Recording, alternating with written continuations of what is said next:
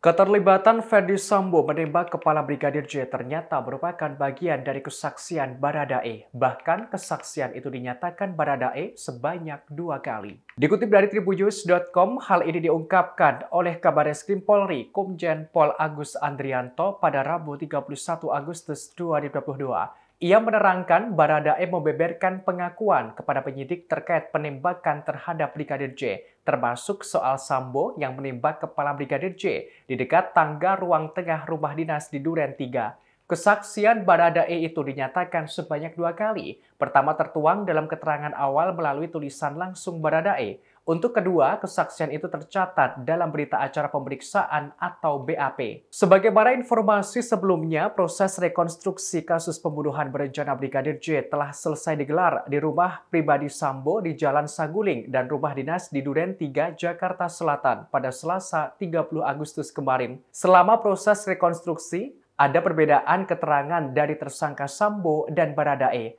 Direktur Tindak Pidana Umum atau Dirtipidum Polri, Brigjen Pol Andirian Jaya menerangkan, keduanya memiliki versi masing-masing soal adegan penembakan terhadap Brigadir J.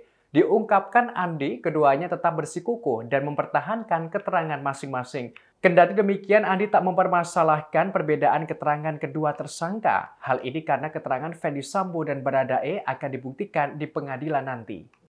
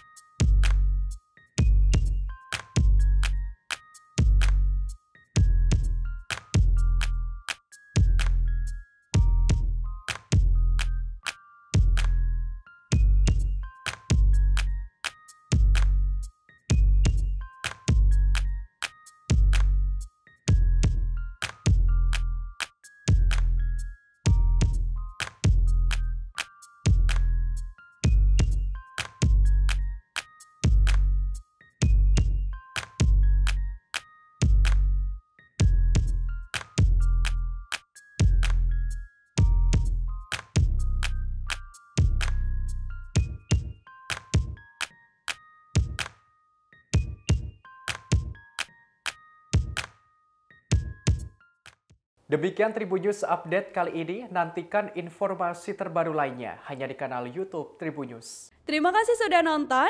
Jangan lupa like, subscribe, dan share ya.